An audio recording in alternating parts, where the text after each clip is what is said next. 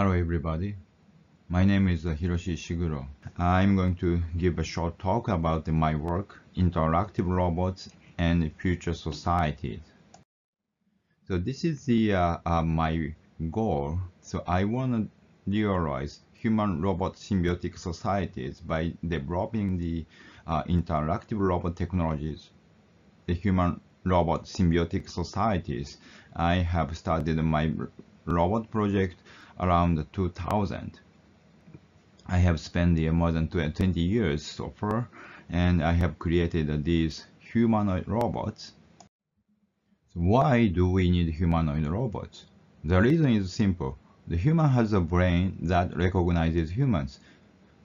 The ideal interface for human is humans. Therefore, the information media devices such as talking rice cookers should be at least partially human-like, and conversely, to understand humans, human-like robots are needed.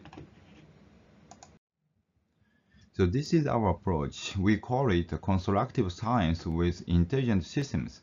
Human intelligence comprises elements of memories, computations, inference, learning, etc. The challenge is to identify how these elements can, can be put together for re realizing human intelligence. The constructive approach will reconstruct robots and androids to model humans and use such robots and androids to study the human macro level or meta level functions.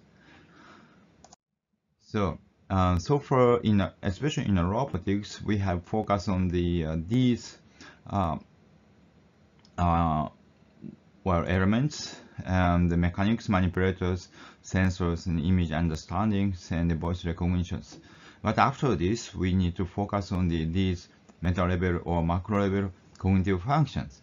Actually, the, I have implemented the uh, intention desire to our Android and and developed the uh, fully autonomous conversation Android.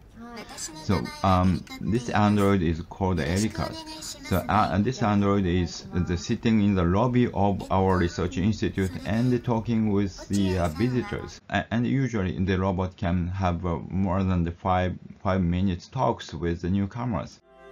In addition to that, uh, we are developing the uh, child Android. The merit of a child Android we don't need to limit the situation and purpose in the societies. So everybody very kind to the uh, child android and the child android can ask any question to the people. The purpose of the Moonshot project is to realize a society in which people are free from the constraints of bodies, brain space, and times by 2050s. Our project name is uh, Avatar Symbiotic Societies. This is the uh, uh, uh probably the one of the origin of avatars.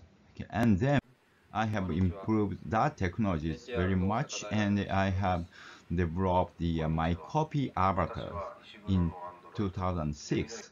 Okay, so by extending that approach and by integrating with autonomous robot technology, my role is to realize these future societies. Anyone, including including the elderly and people with disabilities, will be able to freely participate in various activities with abilities beyond ordinary people while expanding their physical, cognitive, and perceptual abilities using a large number of cybernetic avatars. In 2025, we are going to have a World Expo in Osaka and Kansai areas. I'm a semantic project producer. We are going to use many avatars in my pavilions and appeal the technologies of avatars. So I believe so we can have sustainable societies by using the avatar technologies. After the World Expo, I hope we can realize we can develop the human-robot symbiotic societies.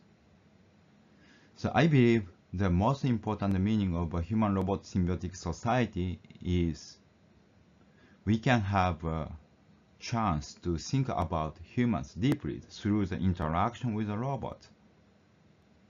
Thank you for your attention.